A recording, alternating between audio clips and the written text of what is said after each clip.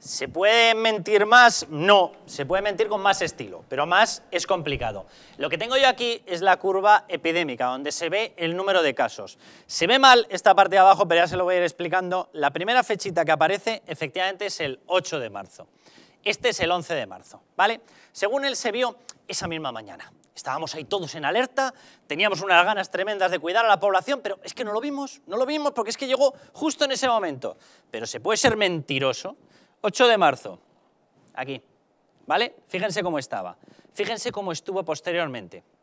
En días en los cuales se mantuvo todo el sistema de precaución, días en los cuales se mantuvo el estado de alarma, el de confinamiento férreo dentro de las casas. En estos días se mantuvo el cierre obligatorio en las casas. El 8 de marzo está aquí. Ergo, en todo esto que ya había una cifra de contagios similar o incluso superior, se nos mintió descaradamente porque tenían el objetivo político de que había que montar el 8M. ¿Por qué? Uno, por ineptitud porque fueron incapaces de valorar lo que venía. Dos, por un sectarismo político, dramático y letal, porque como tenían que pegarse por quién llevaba más alta la bandera del feminismo radical entre PSOE y Podemos, Podemos y PSOE, ninguno pensó, oye, a lo mejor resulta que estamos matando gente, porque les estamos diciendo que vayan a una manifestación y se van a contagiar. Les daba lo mismo. Lo importante para ellos es, el movimiento feminista radical es mío, ¿eh? yo soy el que manda en esto, ¿eh? que no me quiten esta causa que me da votos.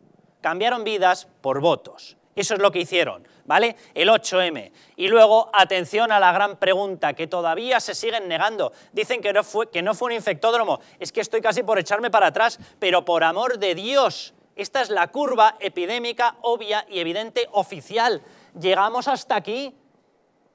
¿Y cuándo era esto? Pues justo cuando había pasado todo el periodo de incubación del 8M. Pero ¿cómo se puede seguir afirmando que aquello no se convirtió en un infectódromo? Pero por amor de Dios, que parece una escalada libre.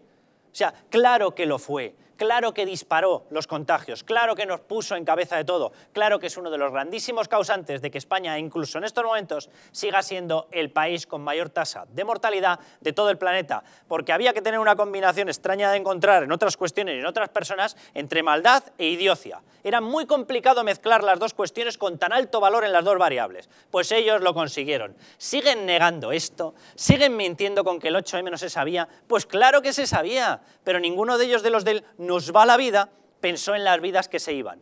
Prefirió pensar en se nos van los votos, que esto para ellos es un lenguaje mucho más comprensible. Ellos viven del voto. Oye, lo de la vida ya es una cosa para todos los demás. Es de verdad que es de traca. Recordaba